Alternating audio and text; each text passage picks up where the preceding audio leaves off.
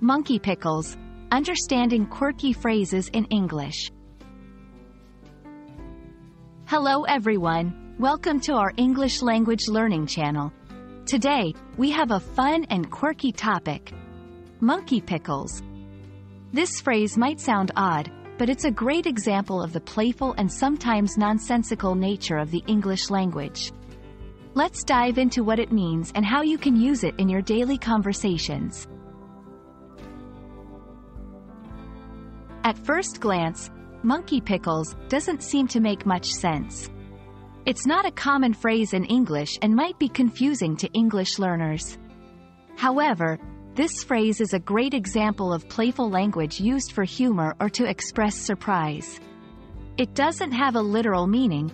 Instead, it's used to add a light-hearted or humorous tone to a conversation. The origin of monkey pickles is not clear, but it's an example of how English speakers often create whimsical phrases for effect. These phrases can be used in various contexts, like expressing disbelief, oh, monkey pickles.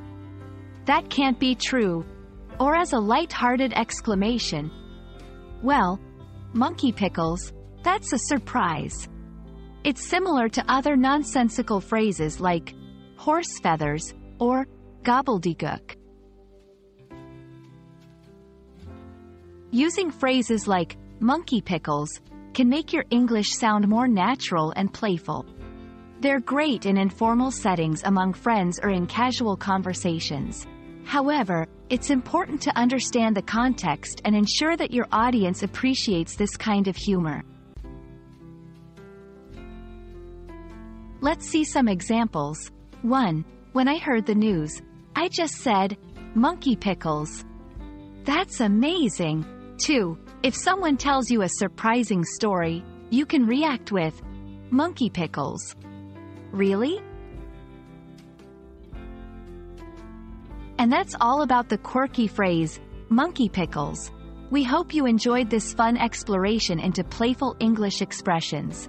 Remember, Language is not just about grammar and vocabulary, it's also about creativity and expression. Happy learning, and see you in our next video.